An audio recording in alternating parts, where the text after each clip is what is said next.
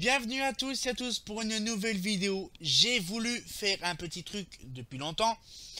On a vu les photos d'Epernay. Hein, vous êtes d'accord, Epernay Banite là. Hein, les vidéos de terrain. Mais qu'est-ce qu'il y avait dans Epernay dans les années 40, voire 50, début 60 Il y avait des choses très intéressantes quand même dans l'éclairage public euh, de ces époques-là. Il y avait beaucoup de holophane. Il y avait beaucoup ça. Donc du coup, on va découvrir ces petits trucs là intéressants. Alors, on va voir des, on va voir des TS, on va voir des haros, des LT, euh, des cloches en cuivre. Euh, on va voir des vieilleries, des vieilleries qui sont très intéressantes. Alors, je vais vous faire partager. Euh, on va faire peut-être en deux parties, peut-être parce qu'il y en a très une grosse quantité de photos. Donc du coup, on va découvrir ça bien sûr en images. Bien sûr, ça sera très intéressant. On se dit tout de suite donc pour voir les vieilles photos. Donc ça va nous rajeunir un peu, ça va rappeler de bons souvenirs. Donc on se dit à tout de suite pour la vidéo. Bon ben comme début hein. Oh, ça va me vieillir. Oh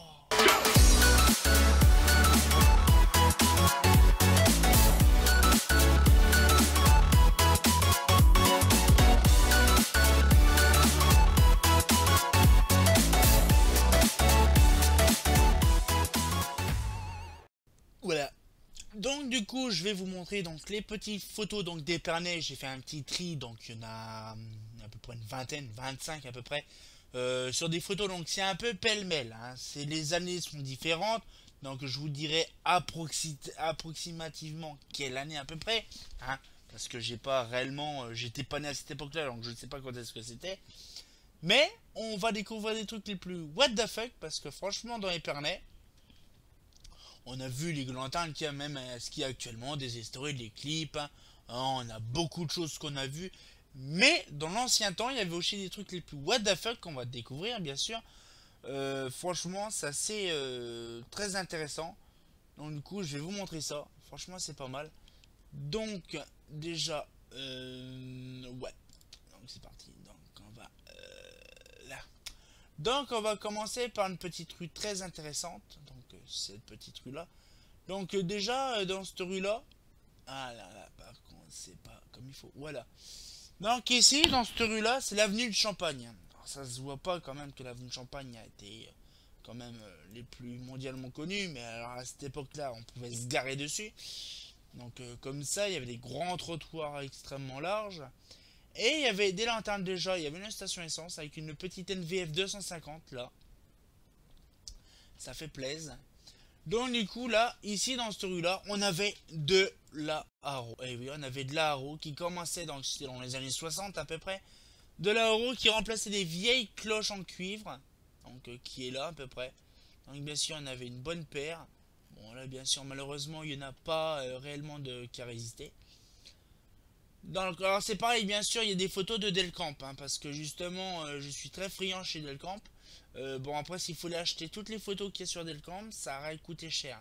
Donc, je vous montre, bon, bien sûr, avec, bien sûr, le estampillé Delcamp, hein, pour vous montrer que, voilà, c'est bien de Delcamp. Vous pouvez les télécharger, les acheter, vous pouvez faire comme vous voulez. Donc, du coup, là, ici, par exemple, on a des belles petites tulipes, hein, donc euh, la 4446A1, oui.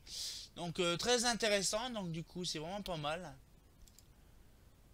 Le centre-ville, donc là, euh, c'était à l'époque, maintenant c'est des flancs et tout le bazar. Donc il y avait des holophanes avec deux ensembles de chez euh, bon plutôt Europhane, hein, ça date des années 80 ces photos-là, hein, bien sûr. Donc là, on a dans cette petite photo-là ben, des petites cloches très sympas. Donc on a des vieilleries qui sont ici, qui datent des années 1800-1900. Et on a les vieilles cloches, euh, voilà, qui sont bien sûr de la de l'époque des années 50-60. Alors ici, ça, ça a une, histoire, ces petites lanternes-là. Alors bien sûr, là, ça n'a rien à voir avec l'holophane et compagnie. Hein. C'est vraiment euh, un truc très intéressant. En fait, c'est une lanterne donc à gaz, une lanterne à gaz, qui équipait la place du centre-ville, donc la place euh, de la République, où qui a le monument aux résistance. Et en fait, euh, ce modèle-là, donc en fait, s'appelait en fait le café des quatre gueules. Parce qu'en fait, en bas, il y avait quatre figures en fait. Donc c'était le café des quatre gueules. Donc euh, des quatre lanternes de style de l'époque, je pense que c'était du Val Hein, je pense bien sûr, parce qu'il n'y a pas que ça en Val dans les Pyrénées dans les époques. Donc du coup on trouve de belles choses d'Épernay, euh, c'est les plus vieilles photos. Voilà, donc là par exemple on voit, bon c'est flou hein, bien sûr, mais on voit les petites tulipes qu'il y a dans le centre-ville et oh Une vieille cloche, donc là c'était des luminaires TS, donc avec cheminée, euh, incorporé, donc l'appareillage incorporé. Donc du coup on avait des bonnes vieilleries, donc il y en avait une dans le coin là-bas, euh, dans ce coin là ou là-bas, il y en avait une là qu'on voit, il y en avait une là-bas. Donc euh, vraiment, il y en avait partout au-dessus du rond-point. Et on pouvait se garer comme ça à l'époque. Bon, maintenant, c'est illégal de se garer comme ça sur le rond-point. Mais bon. Après, encore des autres photos. Donc là, c'est pareil. Maintenant, c'est une Mazda époque. Et là, bon, là, je sais pas ce que c'était. Avec une petite cloche holophane. Donc pareil, un cuivré aussi. Hein, c'était la bonne époque. À l'époque, il n'y avait que ça. Il n'y avait que des cloches en cuivre comme ça. Ça, c'est dans les années 50. Là, c'est pareil dans les années 50, des luminaires TS. Donc les luminaires TS, il y en avait à foison aussi dans la ville. Donc là, donc on voit vraiment de bonne qualité, de bon augure, justement les petites lanternes. Donc euh, ça faisait plaisir à l'époque. J'aurais été né à cette époque-là, ça aurait été pas mal.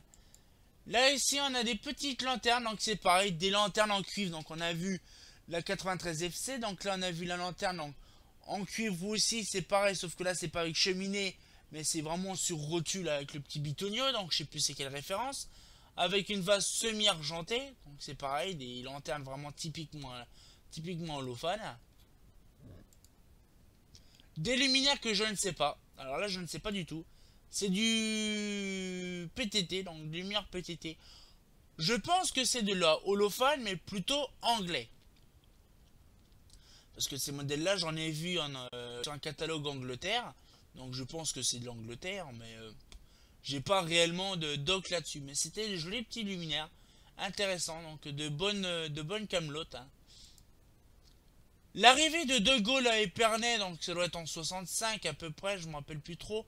Et donc du coup on voit une très belle cloche holophane euh, là, très intéressante. Donc c'est pareil, vous imaginez les sortes de supports qu'il y avait à l'époque, c'était vraiment différent maintenant. Hein. Ici, c'est Épernay, donc là on voit, c'est en octobre 63. En 63, euh, donc à la place du justement euh, d'un parc, là maintenant il y avait un, euh, ancien cimetière qu'on voit plus depuis longtemps. Et il y avait des petites lanternes intéressantes, des luminaires TS également. Il y en avait à foison dans ce quartier-là. Donc franchement, c'est intéressant de dire qu'il y avait des TS dans ce coin-là. Donc après, dans le fond, m'en parlez pas, je ne sais pas ce qu'il y avait dans cette époque-là. 63, je pense qu'il y avait quelques haros qui étaient toutes neuves. Je ne suis pas sûr, mais bon. On essaiera de voir tout ça. Donc après, on a de belles lanternes LCA 501 toutes neuves. Donc là, c'était impressionnant. Hein. Bon là, euh, le parking était de très bonne qualité, il était quasiment neuf. L'avenue de Champagne, donc là, avec les fameuses crosses que je vous disais de, de haro ou euh, de lanternes cuivre qui étaient là. Donc il restait plus quelques-unes de, ces modèles-là. Donc je ne sais pas après c'est quoi comme modèle euh, de mât. Des luminaires LT 3 bis. Alors c'est ce que je vous avais expliqué une fois dans une vidéo Epernay Banite sur le jar. Il y avait justement donc les fameuses cloches là et des LT 3 bis qui étaient sur le jar. Donc bien sûr euh, c'était vraiment pas mal de bonne qualité bien sûr. Hein. c'était de, de très bon augure. Et donc du coup je suis en train de rechercher parce qu'il n'y avait pas que ça où les photos du genre ils sont plus loin. Donc on voit c'est dans les années 60, 70, parce qu'il y a la DS, hein, la de chevaux, hein. ah, c'est plutôt 60, hein, parce que 70 il n'y avait plus donc, euh, donc, euh. les pareil, petites photos holophanes de l'époque. Hein. Le parc euh, des, des canards, le parc du... Donc maintenant ici tout ça c'est rasé, il n'y a pas rien, maintenant c'est la Mava. Donc les LCA 500 et avec justement de l'Aro 2. Et oui, il y avait de l'Aro 2. Dans l'avenue Foch, il y avait de la, VM3S, hein, bien sûr, sans doute pas. Donc là, c'était un jour de fête, là, pareil. Donc là, euh, des tulipes à la place d'LCA 501. Donc c'est le même parc que, je vous ai montré de parking.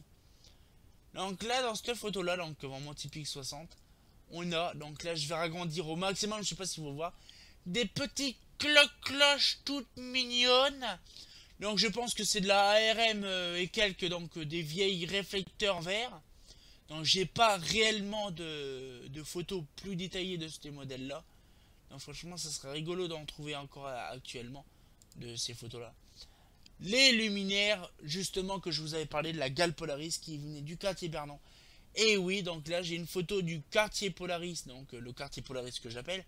Le quartier Bernon donc avec les Gale Polaris qui ça doit dater de 60... 73, 74 à peu près. Oh, dans ces années-là, facilement 80. Fin 70, début 80. Avec les, seuls gals, il y avait les seuls gals d'Épernay parce qu'on n'a jamais eu gal junior, gal mentor, gal senior, gal euh, cadet gal. On n'a jamais eu, on n'a que des gals euh, justement de cette époque-là. Encore une vue d'Épernay, bien sûr, encore dans, une autre façon, bien sûr. Donc, euh, auquel les petites bouboules ah, alors l'attention, on ne rigole pas sur la chose, sur la camelote. On a du Antoine Duren Valdone. Oui, du Valdone qu'on peut voir sur euh, la photo. De bonne qualité, parce que c'est un ami qui me l'a prêté la photo pour que je la scanne. Pourquoi pas essayer de la récupérer la photo, parce que franchement, cette photo-là, me, elle me kiffe. Je la kiffe, cette photo-là. Je voudrais bien la récupérer parce que c'est un modèle en particulier que j'adore, surtout de la Holofan ou du Valdo temps Epernay. Donc là, on a vraiment de toute qualité avec des petites, alors je ne sais pas ce que c'est, des petits yeux de chat, là, des petites galettes qu'on a justement donc euh, sur euh, le bas. Donc là, donc là, c'est pareil, on peut le voir, il n'y a aucune lanterne. Donc justement, la lanterne, je ne sais pas ce que c'est, c'est du Valdone, je sais. Mais euh, en fait, c'est pas la même sorte de vase qu'il y a. Donc, du coup, faut réellement voir ce que c'est. Donc, à l'époque, il faut dire que le Valdone, euh, le mien, il date de 31. Mais dans les années 40, ça existait aussi. Donc, du coup, je pense qu'il y avait un autre catalogue avec cela. Mais, c'est du Valdone. Après, donc là, c'est pareil. Donc, je vous disais, donc, des petites lanternes, je pense que c'est de la EPA. Peut-être pas, je ne sais pas. Et donc là, des petites tulipes aussi, il y en avait partout. Donc ça, c'est dans les années 70, hein, il faut pas chercher. C'était comme ça. Là, Épernay. Donc là, Épernay avec bien sûr euh, la vue euh, sur le jar. Avec les fameuses LT3 bis que je vous avais parlé une fois dans la vidéo d'Épernay Banite avec les LT3 bis qu'il y avait dans le coin. Donc des doublettes qu'il y avait là. Là, des doublettes là, il y a une doublette là. Donc il y a un petit peu de doublettes partout. Et le jar, il se met toujours actuellement au même endroit. Hein, ça n'a pas changé. Donc voilà, donc c'était euh, la, bonne époque, on va dire. La bonne époque de, ça. Donc là, ça doit dater dans les années 90 à peu près. Hein, je me rappelle de ça. Parce que le jar a été conçu à peu près à cette époque-là. Donc on va dire fin 80 à peu près. Parce que les LT3 bis, je les ai connus. Hein. J'étais encore gamin. Une petite photo, donc c'est pareil du, du de là.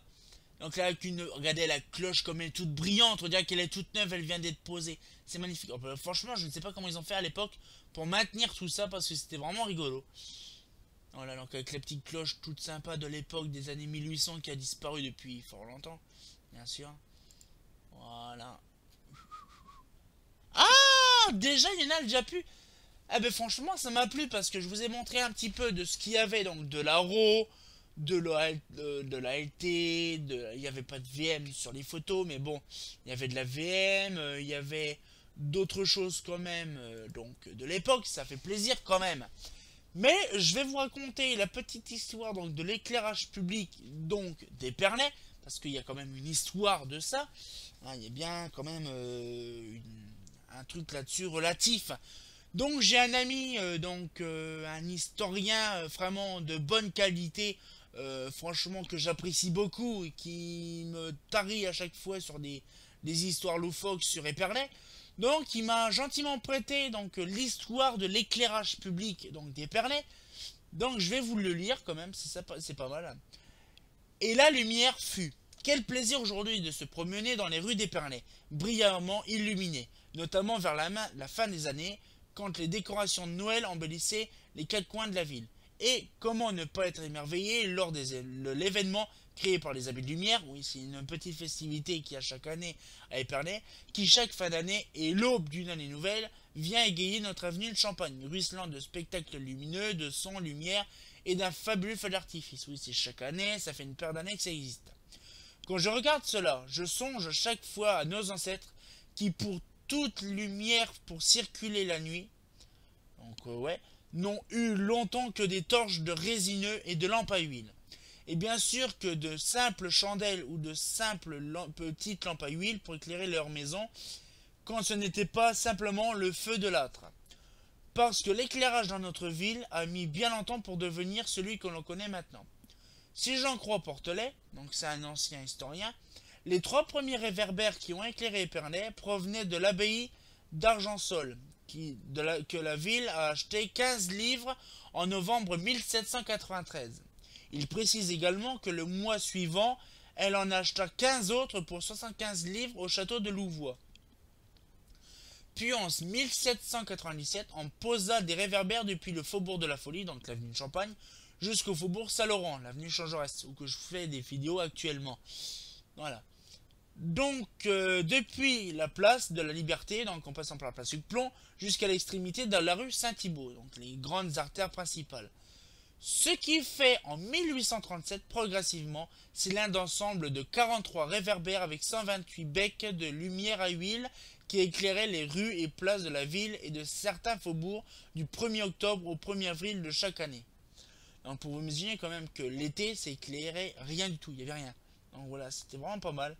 Et c'est en 1844 que s'installa en amont du pont de Marne une usine à gaz qui permet d'envisager une autre façon d'éclairer notre cité. Les réverbères à l'huile passèrent progressivement à l'éclairage au gaz. Le kiosque du Jar reçut une installation d'éclairage au gaz vers 1874 et le 11 juillet 1882, les édifices communaux sont pour la première fois éclairés au gaz. La même année, un grand candélabre à 5 lanternes à gaz est installé sur le refuge de la fontaine des Quatre Gueules. C'est ce que j'avais parlé euh, justement tout à l'heure, aménagé au centre ah, au centre de la place de la République.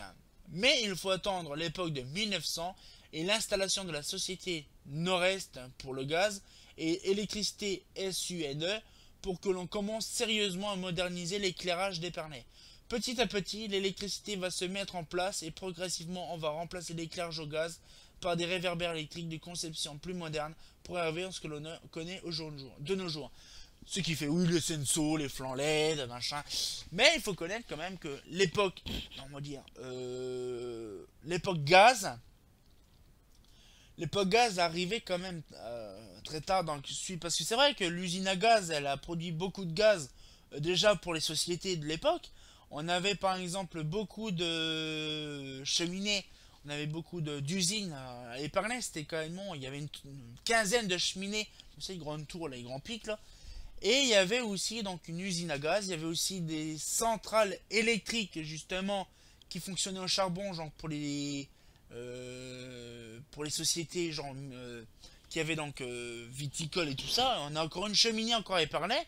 Si un jour vous avez l'occasion de voir Épernay, vous verrez il y a encore une cheminée qui date de 1902-1903. Justement, c'était l'ancienne centrale thermique, l'ancienne centrale électrique de moitié Chandon. Donc du coup, ce qui fait, c'est que ça a été beaucoup industrialisé donc en début 1900. Et donc, arrivé donc au pouvoir à cette époque-là, c'était Valdone. Donc ce qu'on a vu, donc les fameuses lanternes électriques, donc les fameuses Valdone, ont arrivé à peu près dans ces années-là, 1920-1930. Puis après, arrivé donc en 1921, en 1921 à peu près, Holophane, bon ça c'est pas réellement connu tout de suite, hein, bien sûr Holophane, hein, bah, peut-être dans les années 40-50, sur le catalogue de 1955, c'est marqué Épernay dans les villes qui avaient justement un projet. Donc du coup, on voit quand même que Holophane arrive au pouvoir à peu près fin, fin 40, début 50, avec les lumières TS, de l'ex justement PBL. Et donc là, on a vu beaucoup de choses. On a vu les LT, les Haro, les VM, plus tard dans les années 70-80. On a vu aussi euh, des, ben, des, vieilles machines en, cuivre, hein, les vieilles 93 euh, FC, en exemple. On a vu également euh, d'autres lanternes comme des tulipes, moi j'appelle ça des tulipes, les 44 46 a On a vu d'autres choses aussi. Bon, après, il y a eu l'époque aussi plus divergentée, justement, comment dans les années 70, parce que 70, il y a eu encore beaucoup de hein. 80, beaucoup low fan. Par contre, 90, ça a commencé par contre à merder. Parce que là, il y a eu, bah, il y a eu aussi Gall dans les années 60-70 avec surtout le quartier Bernon riche en Gal Polaris. C'était le seul truc qu'il y avait à l'époque qui modifiait tout. Mais sinon, après l'arrivage du pouvoir de Mazda, avec les fameuses Estoril, les fameuses Comet, les fameuses Shuka, les fameuses lanternes de l'époque, donc les solaires aussi qui sont arrivés pratiquement en 80, parce qu'en 80 il y a aussi des solaires qui sont arrivés, il y a eu beaucoup de choses comme ça. Et puis après, ben, petit à petit, euh, dans les années 90, euh, il y a eu beaucoup de choses qu'on dégagé, euh, pas beaucoup, mais plutôt dans les années 2000. Et dans les années 2000, donc on va dire, moi j'ai des, historiques des interventions de 99, où on voit la quantité impressionnante d'ARO, de LT, de VM. Il y avait aussi de, quelques lanternes très intéressantes autour, les fameuses BBTJ, bon ça c'est dans la zone de Mardet, c'est différent. Mais après on arrive dans les années 90, donc avec les Estoril, euh, encore quelques solaires dans l'époque, des comètes, euh, des spatiaux, euh, ben justement les Mazda Montebello de Ariel Comep qui sont arrivés en 89-90. Ah oui, à cette époque-là, il y en avait encore. Il y avait encore beaucoup de choses qui sont arrivées dans les années 90, de 2000. Et en 2000, ben, il arrivait quoi? Ben, En 98 fut arrivée la clip, la clip avec justement Eclatec parce que arrivé Mazda, bah oui, puisque après Mazda ça s'essoufflait, il y avait toujours des Mazda qui, étaient là, genre les Estoril s'installaient encore, mais arrivé euh, à la clip c'était fini. Genre il y avait même des Estoril, genre comme là actuellement euh, dans la rue en face, où que c'est en train de faire les travaux, justement c'est des Estoril qui remplaçaient des VM. Vous voyez Donc là, bon après c'est dans les années 2010, c'est différent. Mais il y a eu un gros changement dans cette époque-là. C'était avec les clips. Les clips, ils ont pris le pouvoir. Ils ont supprimé des solaires, ils ont supprimé des VM, ils ont supprimé des, des Ils ont supprimé une grosse quantité. Donc Eclatec a pris le marché. Vous voyez, en fait, c'est suivant en fait euh, l'année, suivant la ville. Et donc, du coup, en fait, euh, suivant aussi le maire aussi qui décide quoi prendre. La société aussi, à l'époque, c'était EDF euh, e qui choisissait. Après, c'était Citeo, c'est puis Région Lumière. Puis maintenant, c'est Ineo. Qu'est-ce qui va être dans plusieurs années plus tard? Et donc, du coup, ce qu'il fait, c'est que après, ben, euh, Eclatec s'est un peu essoufflé. Donc, il y a toujours un peu Eclatec dans les mais maintenant, ça devient Shredder. Hein, il faut penser que maintenant, on est en 2017. Euh, on a de la Moana qui s'est installée en 2015-2016, à peu près depuis sa création. De la Moana, encore quelques clips. On a de la Indal, aussi de la Stella, on a de l'Archiled de chez Iguzini. On a beaucoup de choses, on va, dire, on se diversifie un peu dans l'éclairage dans les pernets. Et maintenant, on utilise euh, un luminaire fort, donc la fameuse Schrader Senso LED, justement qui devient maintenant un grand classique. C'est que dès qu'il y a un nouveau réseau qui se fait, c'est soit de la Senso LED ou soit des flancs LED. Donc là, par exemple, tout le centre-ville, on va dire depuis 90, à l'époque où Clarel était encore au pouvoir, même Clarel Rani, on va dire, parce que tout le centre-ville, bon là c'est encore une parenthèse de l'éclairage public d'Épernay, l'éclairage public d'Épernay à peu près dans les années 90, dans le centre-ville, dans l'hypercentre, il y avait beaucoup de lanternes en cuivre, genre les fameuses lanternes que je vous ai montrées, les 93 FC, mais il y avait après des lanternes, genre comme les Mazda, pas les Mazda, ou les Mazda Lavoisier, sauf que c'est du Torn. C'est de la EP14 ou de la EP15, je me rappelle plus. Bref. Et donc, du coup, ce qu'il fait, c'est que c'est une lanterne Mazda Lavoisier, il y en avait partout comme ça dans le centre-ville, en BF125.